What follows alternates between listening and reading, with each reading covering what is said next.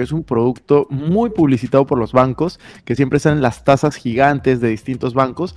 Y lo que tienen que saber es, un depósito a plazo fijo es básicamente darle tu dinero prestado al banco y te dicen te lo devolvemos en normalmente 360 días, en un año. El dinero estancado apesta.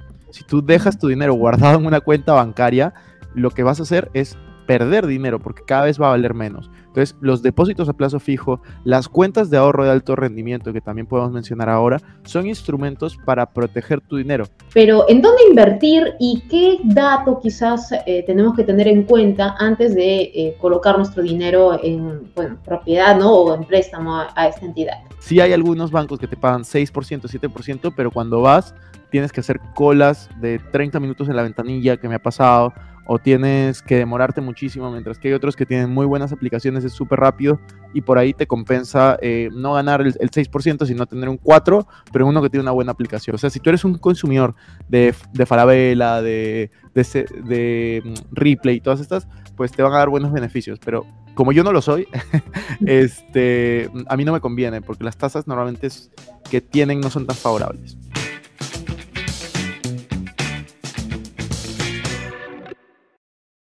¿Qué tal amigos? Buenas tardes, bienvenidos a una edición más de Clic Económico a través de las plataformas de RPP Noticias. Hoy hablamos de temas interesantes, inversiones, por ejemplo, depósitos a plazos fijos y bueno, toda eh, pues esta línea o las posibilidades que nosotros tenemos para poder hacer más rentable nuestro dinero. Recuerden que el dinero no vale lo mismo en el tiempo, eh, durante o conforme pasan los meses, los años, en realidad una cierta cantidad ya no puede servirnos para comprar la misma o el mismo número de objetos que eh, lo que podíamos comprar un año antes. ¿Por qué? Por la inflación que, por cierto, cada vez está más alta. Por ejemplo, a, fines, eh, a fin del 2022, la inflación estaba superando el 8% en todo el Perú y ya el Ministerio de Economía y Finanzas advierte que a finales de enero probablemente la inversión podría llegar hasta un 9%. Por eso hay que saber cómo cuidar nuestro dinero y sobre todo qué hacer con él. Y para ello vamos a invitar o vamos a conversar con Cristian Arens. Él es inversionista y emprendedor con una maestría en dirección de empresas. Cristian, bienvenido. Hola Maritza, ¿cómo estás? Estoy muy feliz, muy contento de estar contigo. Igualmente, Cristian, coméntanos por qué es importante invertir para que la gente lo tenga claro y por qué es tan necesario empezar a hacerlo desde muy jóvenes o cuanto antes. Es importante comenzar y entender el concepto de invertir porque es la única forma de poder tener no solamente dinero, sino tener tiempo. La única forma de hacer que tu dinero trabaje por ti es a través de la inversión. Si no, toda tu vida tú vas a estar cambiando tu tiempo por dinero. Eso es muy importante también para no ser esclavos del dinero y sobre todo para no esperar a que lleguen pues los 60, los 65 años, esperar la jubilación para que podamos gozar, entre comillas, eh, pues de nuestra vida, ¿no? Hay muchos que esperan ya hasta esa edad recién y a veces no tienen ni siquiera el tiempo y ni siquiera las ganas y por último ni las fuerzas para poder disfrutar de todo lo que han conseguido trabajando. Ahora, ¿qué eh, modalidades existen aquí en el Perú para que las personas puedan hacer más rentable su dinero? Existen muchísimas y hoy en día con, Internet, por ejemplo, puedes invertir en, no solamente en Perú, sino fuera.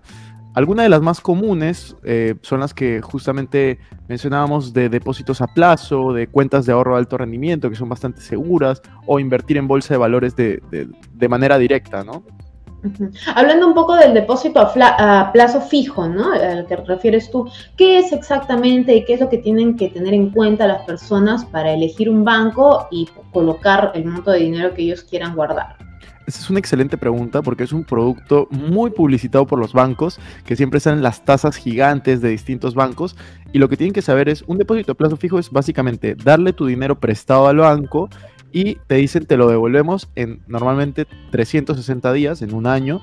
Eh, hay otros que son de 6 meses, 12 meses, 18 meses, otros tiempos. Vamos a hablar un año, es el más común. En un año y te damos una tasa de interés. Es decir, por cada mil soles que tú inviertas, en este momento hay tasas de interés desde 6% y hasta 9 y algunas están llegando un poquito más arriba. Es decir, por cada mil soles que tú le prestes al banco, al año siguiente, en 360 días, te van a estar devolviendo entre 60 y 90 soles, dependiendo del banco que tú escojas y la tasa que tenga en ese momento. Pero esto, obviamente, si lo multiplicas por una cantidad más grande de dinero, va a ser mucho más y mucho más y mucho más, ¿no? Eso es importante lo que tú dices porque hay que también, o aquí influye mucho el índice de inflación, ¿verdad? Hay que tener en cuenta cuánto va la inflación en un país para saber eh, cuánto porcentaje o cuánto interés nos están ofreciendo los bancos, ¿verdad? Si podrías explicar un poco esa figura. Sí, la, inflación es básicamente el valor del dinero en el tiempo. Un ejemplo que yo siempre pongo es antes, y lo, voy a decir en dólares para que cualquier persona entienda igual, pero antes con 100 dólares, y cuando estoy hablando de antes es hace, cientos, hace 100 años, 110 años, con 100 dólares tú podías comprar un carro. Hoy con 100 dólares no puedes comprar ni siquiera una llanta.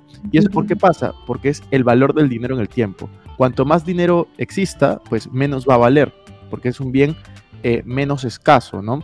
Entonces, esa tasa de inflación está en máximos históricos a nivel mundial, gracias a la pandemia, que la mayoría de gobiernos se pusieron a imprimir dinero para solucionar este problema, pues unos peores que otros, pero ahí está. Y la inflación está, como tú bien lo dijiste al inicio, alrededor de 8% el año pasado. Entonces, una tasa que te pague 9% está lo que realmente ganas es 1% por la inflación, ¿no? Si bien recibes esos 90 soles por cada mil soles que inviertes, pues la inflación hace que, ese dinero no tenga el mismo poder adquisitivo, ¿no? No puedes comprar lo mismo que hace un año.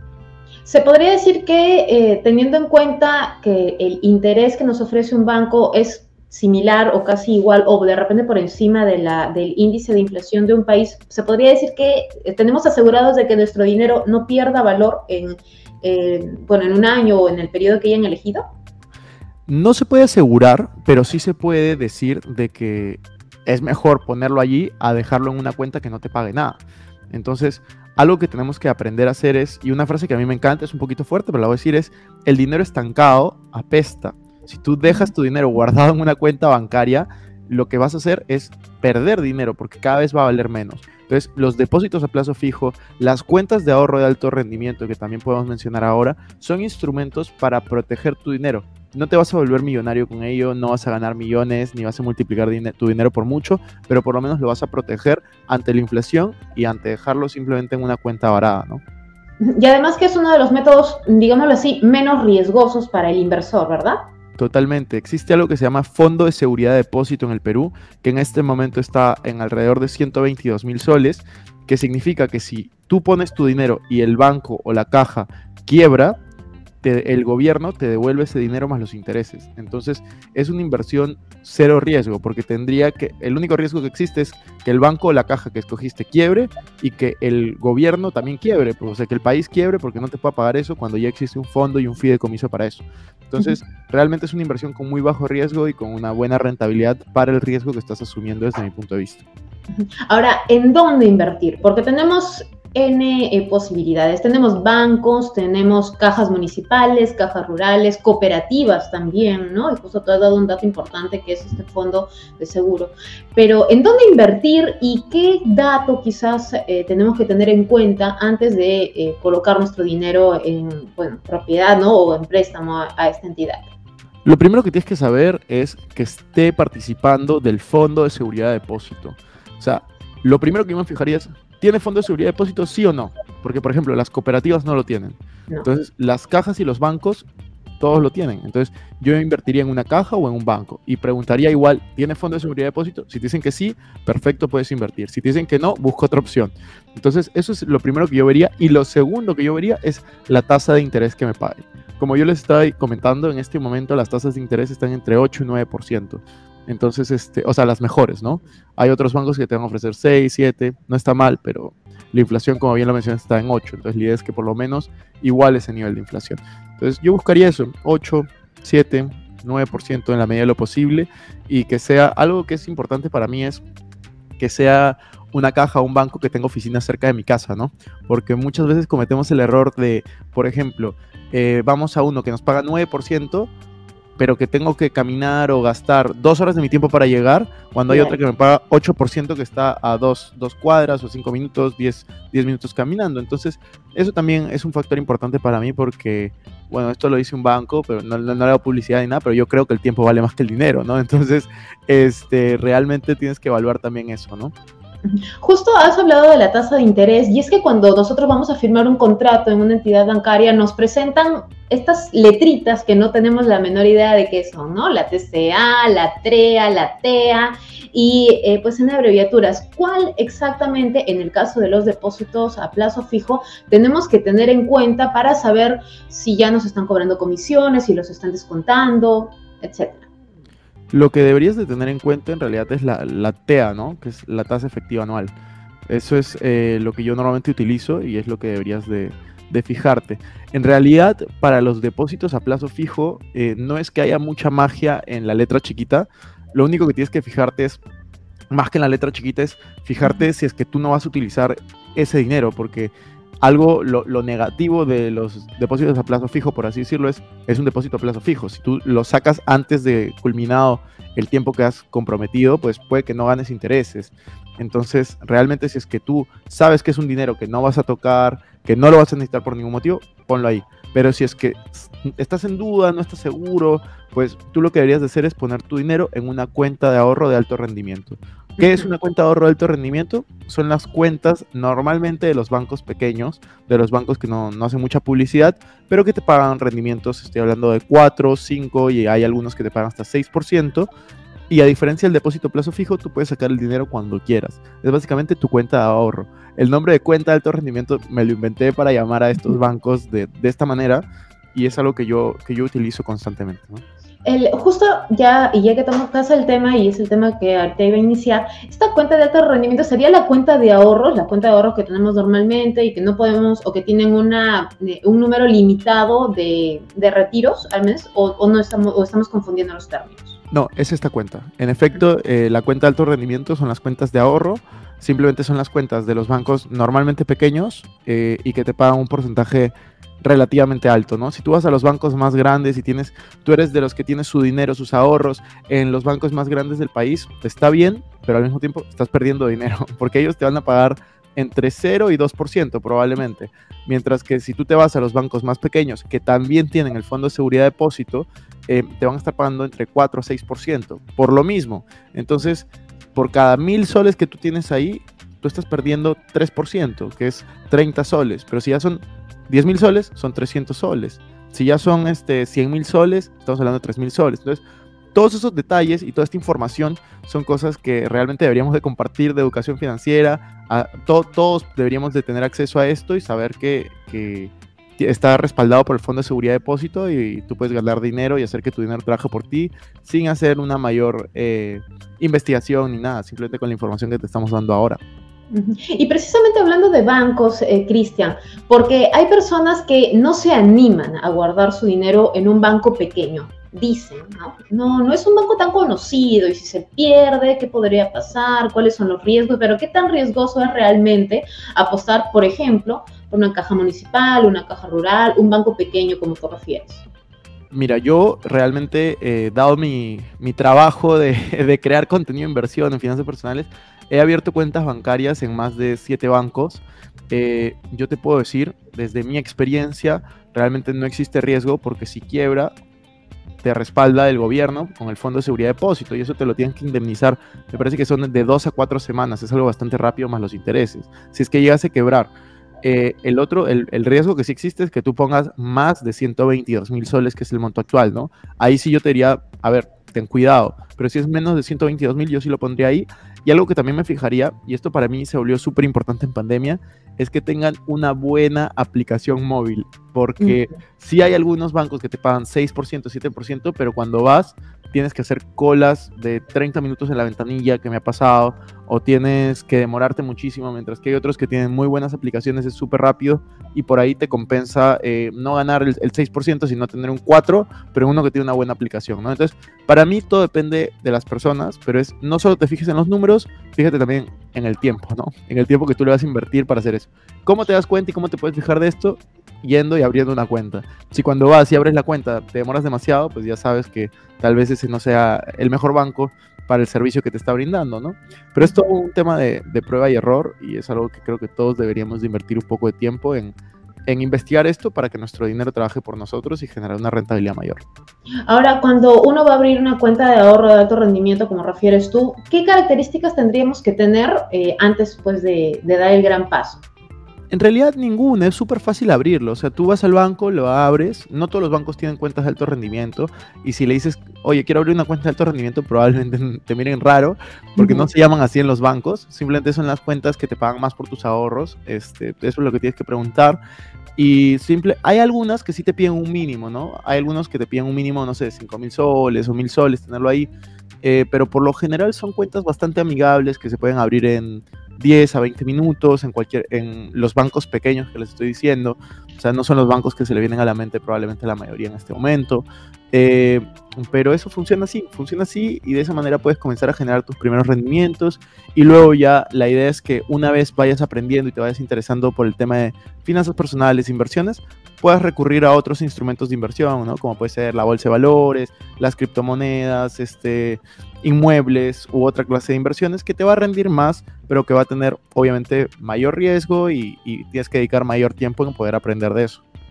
Sí, precisamente tenemos este, este término, ¿no? Que es la bolsa de valores. Últimamente se, hemos visto en las noticias, por ejemplo, ¿no? Sobre todo con esta coyuntura tan conflictiva en el país, que estamos viendo que algunos sectores o algunas empresas, eh, por ejemplo mineras, ¿no? que están subiendo sus acciones, bajando, pero ¿qué significa esto exactamente?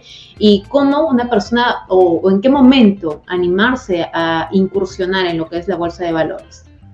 La verdad es que lo más importante para poder invertir en bolsa de valores, me parece una buena pregunta la que me has hecho, es primero entender qué es la bolsa de valores. O sea, hay muchas personas que quieren invertir, pero que no tienen tiempo para poder educarse en esas inversiones. Entonces, a esas personas yo les digo, manténganse en depósitos a plazo, manténganse en cuentas de alto rendimiento, pero no incursionen en una inversión que no están dispuestos a dedicarle tiempo para entenderla, porque si no lo que van a estar haciendo es apostando en vez de invirtiendo. Entonces, el conocimiento es lo primero que tienes que adquirir.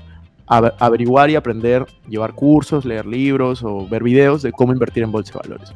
Y los, después de que ya aprendiste, obviamente seleccionar una buena plataforma para hacerlo, que hay bastantes sociedades agentes de bolsa buenas en Perú, o después, eh, y después de eso, perdón, elegir las acciones correctas, ¿no? Hoy en día, con toda la coyuntura que estamos viviendo en Perú, aunque no lo creas, desde mi punto de vista es un buen momento para invertir, porque hay muchas ofertas en el mercado y tú cuando compras una acción no la quieres comprar cuando esté en el máximo histórico necesariamente, tú la quieres comprar cuando esté en un momento bajo para luego venderla cuando suba. Entonces imagínate con toda la coyuntura que estamos viviendo, obviamente hay empresas que se han visto afectadas y que yo, creo que son grandes empresas, tanto en Perú como a nivel global, eh, y que realmente puedes tener esa oportunidad de comprarla a un precio barato y, y luego venderla, ¿no? Pero habrá seguridad quizás, teniendo en cuenta la coyuntura del país, de invertir en, estas acciones que aparentemente se ven baratas, obviamente por la coyuntura, ¿habrá seguridad de, lograr rentabilidad más adelante?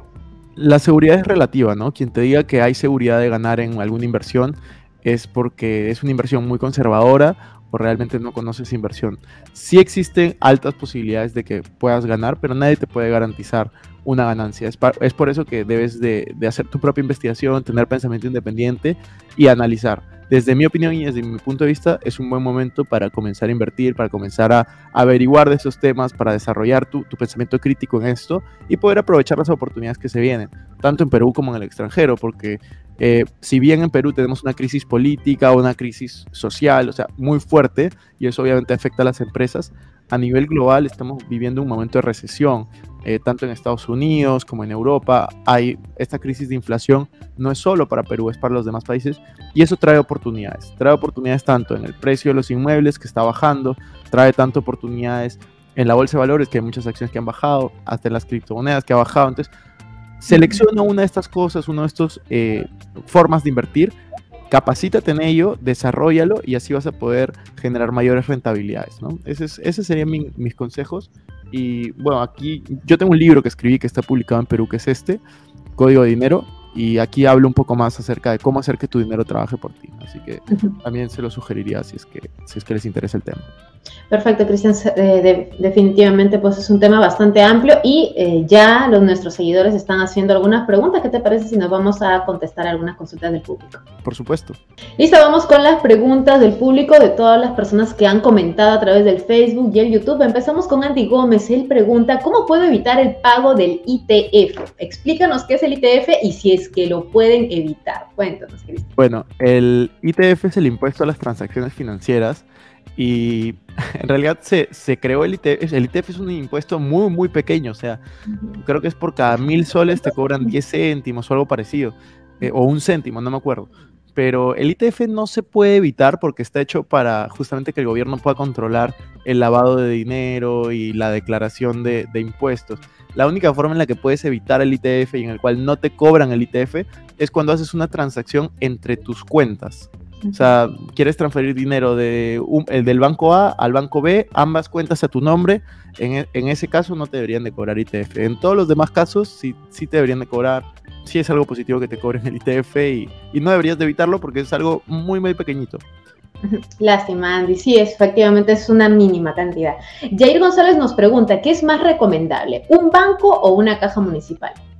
Es una buena pregunta. Yo personalmente prefiero banco, pero como todo, depende, ¿no? las cajas municipales muchas veces te pagan más intereses, pero desde mi experiencia, eh, por lo general la atención al cliente es bastante eh, lenta y por eso justamente es que yo opto por los bancos, pero eso depende de ti, porque también he visto casos que en provincia, donde las cajas municipales tienen más presencias, porque tienden a ser muchas regionales, tienen una mejor atención y una mejor tasa. Entonces, definitivamente, si es que tienen una buena atención y una buena tasa, me iría con ellos.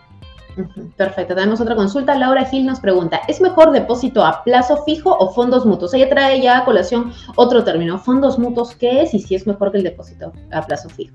Para explicar los fondos mutuos es básicamente, son productos empaquetados de inversión que te venden distintas, distintos, distintas cosas. Puede haber un fondo mutuo de inmuebles, otro fondo mutuo de acciones, distintas cosas. Eh, voy a ser muy directo, muy frontal. A mí me gustan más los depósitos a plazo. Yo creo que el 90% de los fondos mutuos en Perú eh, no, son, no, son, no son buenos porque tienen intereses este, que no están alineados con los tuyos, ¿no? Ganan comisiones por cada transacción que ellos hacen, no todos, pero varios, y no necesariamente por brindarte ganancias. Y eso hace que el producto no, desde mi punto de vista, no sea tan bueno. No sea tan eficiente. Perfecto. Tenemos otra consulta. Yair González nos vuelve a preguntar, ¿cuáles son los bancos pequeños? ¿A qué le llamamos o cómo lo reconocemos? Los puedo mencionar, ¿no? O sea, bueno, los bancos pequeños, eh, pequeños entre comillas, ¿no? Porque no son tan pequeños.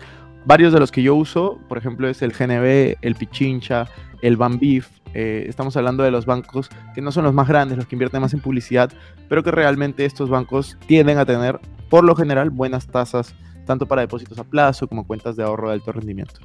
¿Acá se incluyen, por ejemplo, esos bancos de las casas comerciales o no? ¿O son ¿Como cuál? Dame ejemplos. Como por ejemplo el Banco Sada Falabella, ¿no? el Banco Ripley. A veces, lo que pasa es que con, el, con, el, con los bancos de, de estas tiendas al por mayor, muchas veces hay, A mí no me gusta usarlos mucho porque siento que están orientados a esas tiendas en específico. O sea, si tú eres un consumidor de, de Falabella, de, de, de mm, Ripley y todas estas, pues te van a dar buenos beneficios. Pero como yo no lo soy, este, a mí no me conviene porque las tasas normalmente que tienen no son tan favorables. Perfecto. Eh, Cristian, eh, nos tiene otra pregunta. Elida Flores nos dice, ¿es seguro invertir en ETFs? Que son también, pero de paso te consultamos. Ok, ETF en realidad es, eh, son las siglas en inglés de Exchange Traded Fund, que es un fondo cotizado. ¿Cómo explicarlo en palabras simples? Un ETF básicamente es parecido a los fondos mutuos que juntan productos financieros, pero se venden de manera pública en la bolsa de valores. Los ETFs más conocidos, el más conocido en Perú es el EPU, EPU, donde junta la mayoría de, son creo 20, 30 empresas más grandes de mayor capitalización bursátil en la bolsa de valores de Perú, las más grandes, y el más conocido a nivel mundial es el del S&P 500, que son las 500 empresas más grandes a nivel mundial. Entonces, es seguro invertir en ETFs en la medida que tú conozcas de esa inversión, sí es seguro, en el sentido de es mucho más predecible que invertir en una acción determinada, pero como cualquier inversión, obviamente tiene un riesgo, puedes ganar más que un, un depósito a plazo fijo, pero también tienes la volatilidad que puede subir, pero también puede bajar. Entonces, este, depende del perfil de riesgo de cada uno y sobre todo la información que tú tengas, ¿no? Qué tan educado estás para poder invertir en ese producto. Perfecto. Otra pregunta tenemos a Frank Maldonado que nos dice, ¿crees que la bolsa de valores se recuperará dentro de seis meses después que Estados Unidos comience a bajar su tipo de interés? O en todo caso, ¿cuándo crees que se recuperará la bolsa? A ver, esto yo no puedo ver el futuro, sino eh, créanme que sería billonario, este, pero voy a responder la pregunta con mi opinión. Eh, mi opinión es, si Estados Unidos comienza a bajar su tasa de interés, obviamente la bolsa se va a recuperar. Pero yo no creo que baje su tasa de interés. Y no sé si en seis meses se recupera o no.